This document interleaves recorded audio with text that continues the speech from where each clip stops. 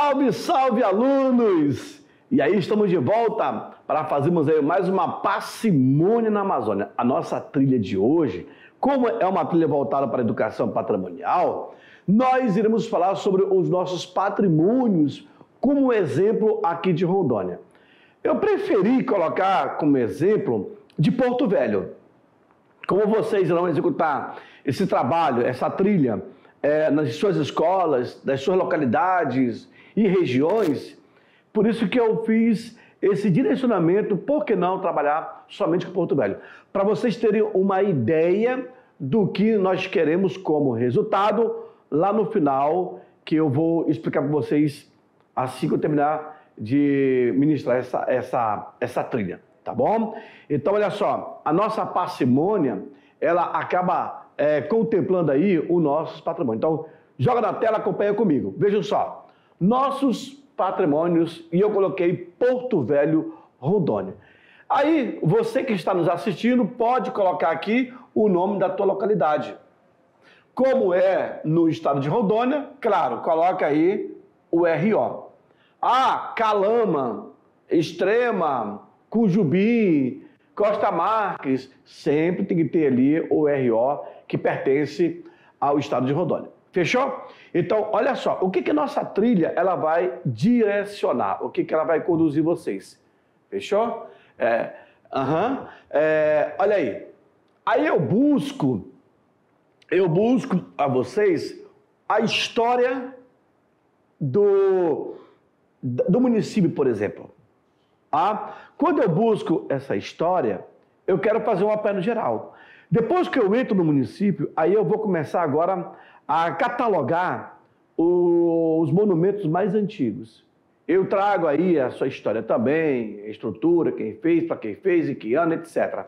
Aí eu, então, digamos, eu vou, eu estou lá em Calama, eu consigo uma foto da cidade de Calama, de antigamente, de hoje, coloque lá. E faz um pequeno apanhado. Como eu fiz aqui, ó. Eu peguei nessa nossa trilha, como eu falo dos nossos, ó, eu falo dos nossos patrimônios, eu peguei os patrimônios de Porto Velho. Mas para isso eu falo um pouco da cidade que eu resido, que eu moro, tá bom? Porto Velho nasceu em 1907 sobre a estrutura da estrada de ferro Bandeira Mamoré, sendo o mais novo empreendimento industrial de grande vulto na Amazônia, surgindo dentro do espaço pertencente ao estado do Amazonas, a 7 quilômetros abaixo de Santo Antônio. Preste bem atenção. Porto Velho surge através de uma vila, certo? Quando as empresas queriam construir a estrada de ferro de Moré, chegam e instalam ali uh, o seu canteiro de obra. Então, Porto Velho, basicamente, nasce desse, é, desse empreendimento. Porém, ele vai ser oficializado como município em 1914. Tá? Deixa bem claro que o surgimento da vila de Porto Velho se deu em 1907. E aí foi aumentando, aumentando, até que resolvem criar em 1914 e oficializar o município. Aí eu trago para vocês uma foto do passado. Aqui é o Rio Madeira. Aqui começou o empreendimento da estrada de ferro Madeira Mamoré. E depois Porto Velho só foi crescendo. A tal ponto que, é, um pouco mais na frente, lá em 1948, por aí, já vem ah, algumas imagens aéreas. Observe, um pequeno canteiro de obra aqui instalado, ah, começa então a cidade a progredir, a aumentar, a prosperar. E hoje, então, se você der um Google aí, vai ver aproximadamente quantos habitantes tem a cidade de Porto Velho. Certinho? Pode? É. Então, olha lá, presta atenção. aí eu parto para alguns empreendimentos, alguns monumentos antigos. Por exemplo, esse monumento da cidade de Porto Velho foi no passado, ele se chamou Escola Normal do Guaporé, que hoje todos conhecem como Escola Carmela Dutra. Instituto Educacional Carmela Dutra. Aí eu pego uma imagem do passado e uma imagem do presente. Aliás, um pouco mais avantajado lá no ano de 1952, 53. Uma coisa incrível, uma coisa incrível aconteceu nessa imagem. O cara quando foi, o cara quando foi colorir a imagem, o que que ele fez ali?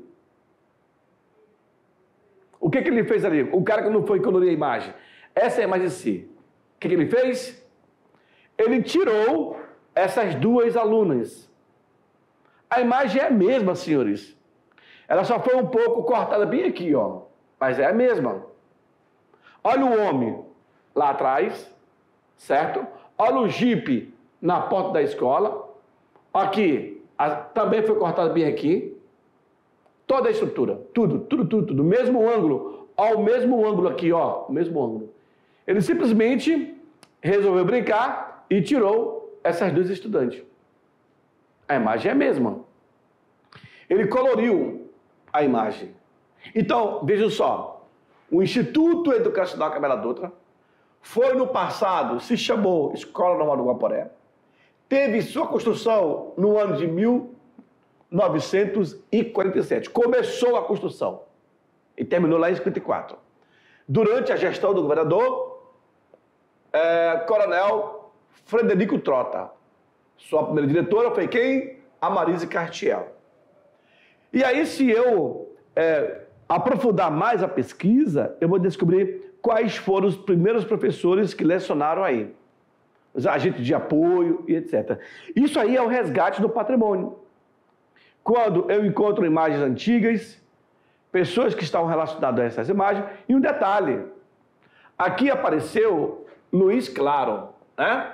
Mas esse aqui foi o cara que coloriu a imagem. Mas quem foi que fez essa imagem? Também isso é história. Então tudo está voltado para essa imagem. Aí eu, eu sigo. Eu pego aí, por exemplo, Porto Velho Hotel. Porto Velho Hotel foi, na verdade, um grande hotel aqui na capital, que com o passar do tempo vai é, abrigar aí a, a Unicentro. Então, o Porto Velho Hotel foi construído em 1900, começou em 1948 e vai até 53. O engenheiro foi Logren de Vasconcelos Chaves, lá do Rio de Janeiro.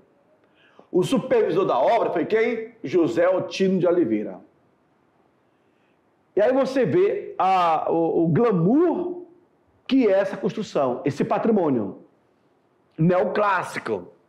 Olha o trabalho que deu para chegar a, a, essas condições. Muito bonito.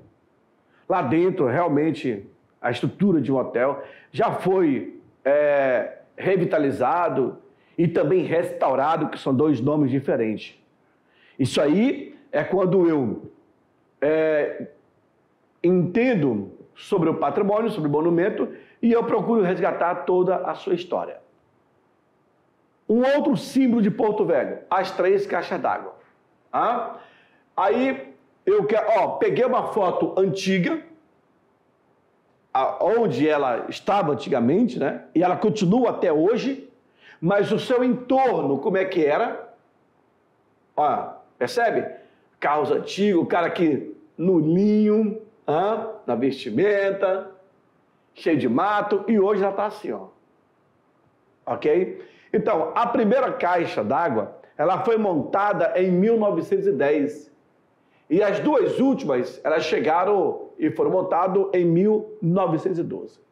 Pela empresa Chicago Bridge Ironworks. De onde? De Londres. Cada uma, cada uma dessas aqui, ó, tinha capacidade de armazenar 200 mil litros. E, com o passar do tempo, elas foram desativadas em 1957. Por quê, professor? Porque Portugal, Portugal tinha crescido, aumentou. E aí já não, não tinha mais sentido é, permanecer com as três caixas d'água. É, por muito tempo, ela servia para abastecer a população ali do entorno do bairro Caiari, somente. Depois tiveram que criar é, novo mecanismo para atender toda a cidade. Aí eu busco um outro patrimônio, que é o Palácio Getúlio Vargas. Aqui, por exemplo, é de 48, essa imagem, no dia 6 de dezembro. Estou fazendo aqui o alicerce, a base para a construção do Palácio é, Getúlio Vargas. Construído de 48 a 53, seu engenheiro foi o José Otino de Oliveira, e o estilo dessa construção é o neoclássico, construído no governo de Enio Pinheiro. Por muito tempo, foi a sede do governo do estado de Rondônia. Hoje funciona como Museu do Homem de Rondônia. Ah, talvez aqui, aqui embaixo você consegue ver aí o, a, o prédio da Maria Auxiliadora ou é o prédio do Hospital São José, ali embaixo. Certo? E aí, claro que, em poucas palavras, ó, em três linhas, ou quatro linhas, cinco linhas, seis linhas, eu consigo fazer o histórico bem enxuto desse monumento. É o que vocês irão fazer depois, tá bom? Como eu vou propor. Um outro monumento aqui de Porto Velho é o Mercado Central. Ele era assim. Vejam. E depois ele se transformou. Percebe que é, na imagem à direita, a pessoa acabou colorindo a imagem que era preto e branco. Deu mais vida, né? Para o, a imagem. Mas é a mesma localização. Do jeito que aconteceu com Carmela Dutra, também aqui, ó. O mercado central, mercado central, atual mercado cultural. Sua construção é de 1915 a 16. E quem criou na época foi o Fernando Guapidaia Bregense. E o mesmo irá pegar fogo em 66. Segundo o que conta aí, foi um curto-circuito Outros falam que o fogo foi intencional, criminoso. E logo após o fogo, uma, um grupo empresarial vai chegar em Porto Velho, vai comprar esse terreno e vai criar aqui o edifício Rio Madeira. E aí ele passa a ser demolido. Agora, por quê? Porque essa rua que esse carro está passando é a, é a rua Presidente Dutra. É a famosa Rua da Discórdia. Ali, senhores, havia divisão. Daqui para baixo, da Dutra para baixo, para o Rio Madeira, pertencia à superintendência da Estrada de Ferro Madeira Mamoré. Da Dutra para cima, a superintendência de Porto Velho. E o mercado ficava literalmente nessa área de fronteira. Tá bom? Vejam, em poucas palavras também, eu consegui resumir todas as informações a respeito desse patrimônio, hoje chamado de mercado cultural. Próximo, eu tenho a Estrada de Ferro Madeira Moré. Percebe, aluno, que eu estou trazendo os principais monumentos de Porto Velho? Basicamente, vocês estão fazendo uma, uma, um tour pela cidade, conhecendo. Hein? Estrada de Ferro, Madeira Mamoré. Não é ferros não, tá? Eu coloquei aqui para colocar o, o cifrão, que fosse dinheiro. É, teve sua construção iniciada pela empresa Public Works em 1872. Depois, uma outra empresa chamada Red Bros Company, em 1875, que o contrato vai ser anulado. Em 78, ah, ainda tive em 74 a Dulce Kendry, que também foi anulado. Já em 78, a Pitt Collins, ela veio para cá, conseguiu assentar 7 km de, de, de, de trilho, 7 quilômetros, mas deixou o local após um grave acidente. No dia 4 de julho, independência americana, eles montam na locomotiva e vão fazer um passeio. O lastro, que é o alicerce, da ferrovia acaba cedendo, a locomotiva capota e mata dezenas de trabalhadores. Eles abandonaram tudo e ó, foi embora. Em 1907, vai chegar em Porto Velho a empresa May Jake Randolph, que irão começar a trabalhar e a ferrovia será concluída em 1912. Aí, claro, eu tenho aqui uma das primeiras imagens de Porto Velho, quando de fato estava sendo operada a, a ferrovia.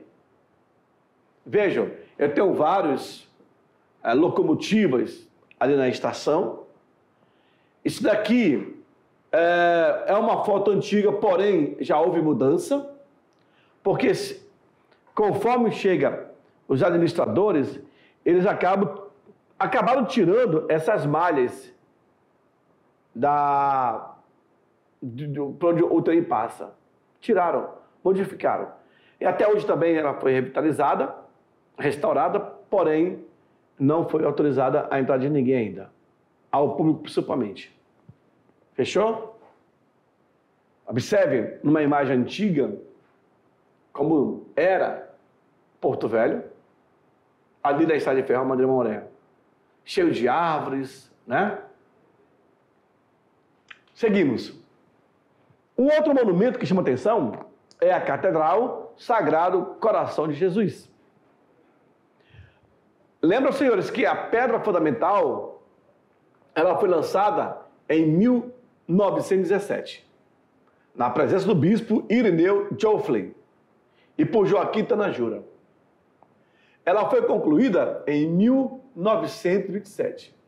O engenheiro dessa obra foi quem? Francisco S., o pai do Chiquilito S. também. Aqui, primeiramente, eles construíram só a nave principal, e depois eles estenderam a lateral, fizeram tipo uma cruz. Mas era muito simples. Lembrando que a Catedral Sagrada Cristo de Jesus era para ser construído aqui, ó, nesse espaço aonde era ou aonde é hoje o Palácio Getúlio Vargas. Aqui era para ser igreja, nessa região.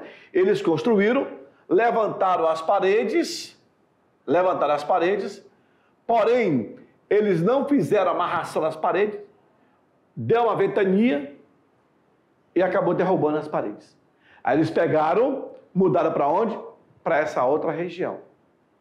Aí começou em 1907 e depois de 10 anos ela fica pronta. Hoje ela é assim também, uma estrutura neoclássica. Certo? E aí, senhores, um dos colégios antigos aqui de Porto Velho. Nós sabemos que o colégio mais antigo da região é a escola mista, que ficava lá em Abunã. É hoje escola Marechal Rondon. E a escola Barão dos Limões, ela também é muito antiga. Vejam, senhores, que ela foi construída pela loja maçônica, pelo venerário Dom Moacir Miranda escola é, pública, né? Mas eu tenho aí os salesianos, Colégio do Busco, de 1935. Eu tenho uma auxiliadora que é dessa mesmo período, mas o Barão de Solimões foi construída pela maçonaria para contemplar aí os filhos dos trabalhadores maçons.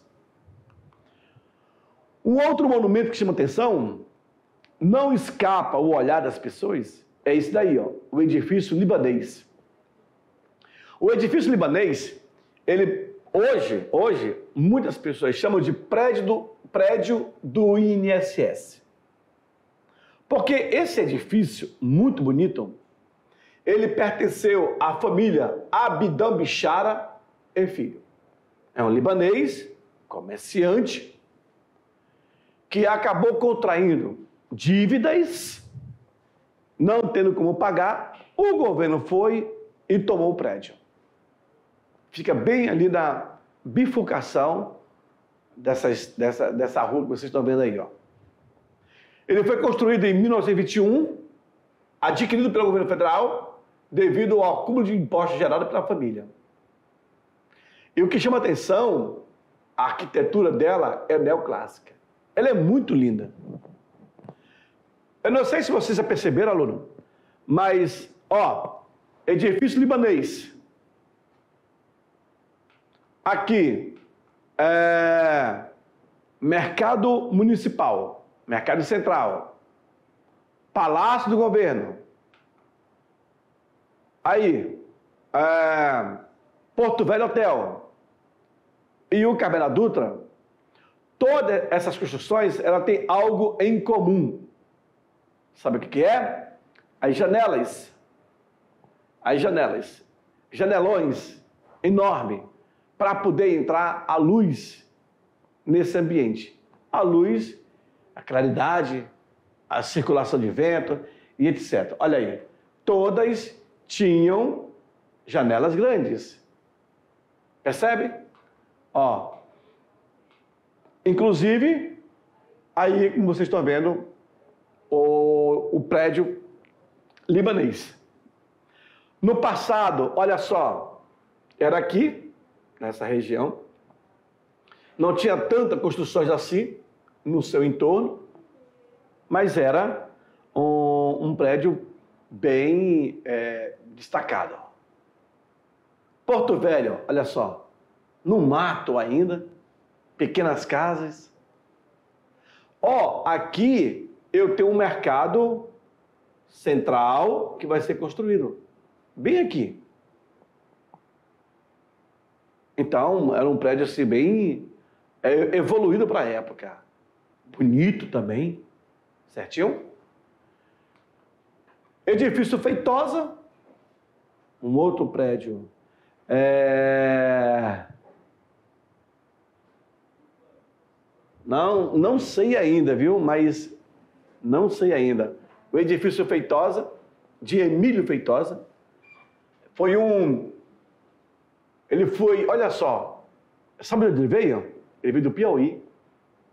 O edifício Feitosa, construído pela família do Emílio Feitosa, em 45, ele é de origem lá do Piauí, veio para Porto Velho em 23. Foi sindicalista, presidente da cooperativa e delegado de polícia. O seu Emílio vai morrer no dia 26 de 6 de 1975. E até hoje, aluno, até hoje, esse prédio está assim. Esse boneco aqui em cima é o deus, do Mer deus Mercúrio, deus do comércio. Existe na mitologia, tudo que ele toca vira ouro. E está lá. Foi sede de partido, mas a estrutura em si ela é toda original. Fechou? Cine e Teatro Resk. Olha aqui no passado. Como é que era? Coisa mais linda. Olha hoje. Hoje virou uma igreja. Aqui é a Praça Marechal Rondon, bem em frente ao Cine e Teatro Resc. O cinema foi inaugurado em junho de 50 e tornou Porto Velho uma das primeiras cidades do Brasil a ter um grande teatro.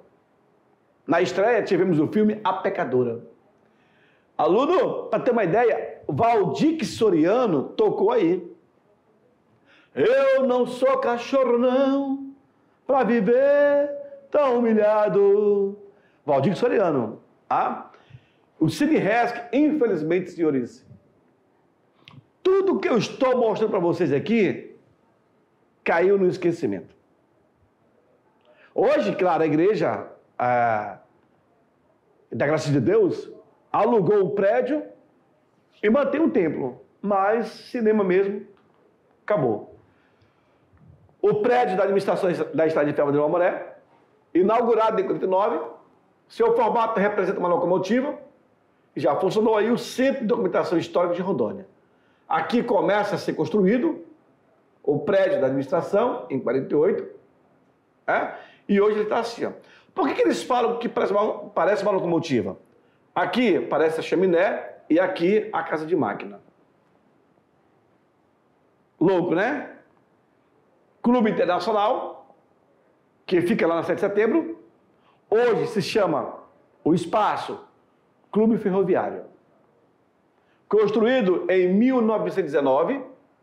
No palco desse clube foram apresentadas algumas peças teatrais, como Porto Velho e Cerolas, Com Eles e Combeiras, Gaspar, o Serralheiro, e dentre outros, outras apresentações. Aí, Café Santo, aonde reunia ali as pessoas mais importantes, para poder traçar o futuro político da cidade de Porto Velho. Ali também funcionou o jornal Guaporé e o jornal Alto Madeira. O Café Santos é aqui, ó. É aqui.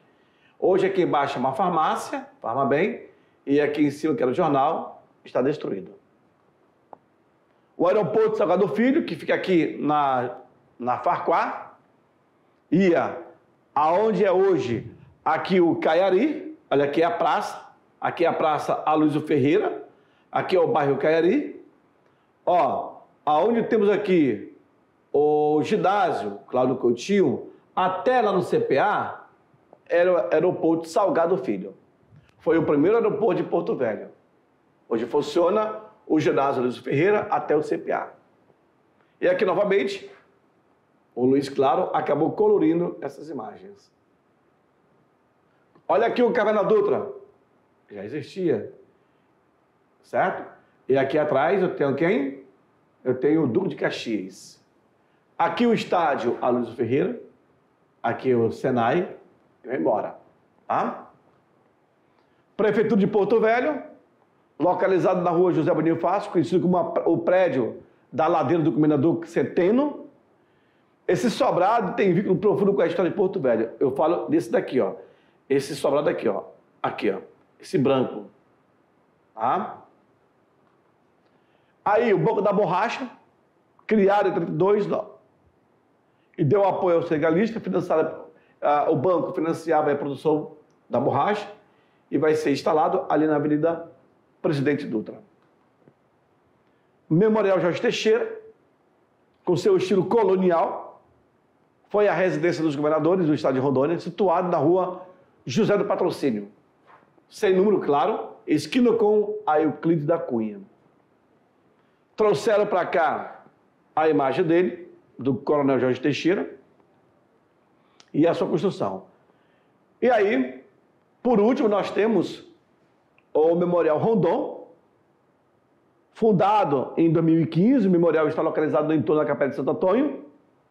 O espaço é composto por seis ambientes diferentes, sendo quatro salões de exposições, contando em seu interior com uma réplica da estação telegráfica do Zé Bonifácio, e uma oca indígena. 400 peças, um filme de seis minutos que narra a trajetória de Rodó e o secular aparelho telegráfico que compõe o acervo do local. Certinho?